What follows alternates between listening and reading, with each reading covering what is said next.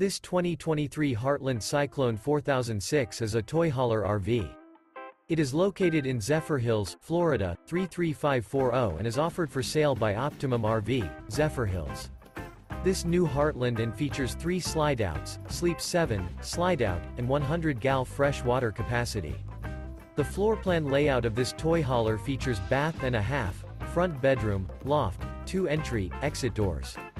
For more information and pricing on this unit, and to see all units available for sale by Optimum RV, Zephyrhills visit RVUSA.com.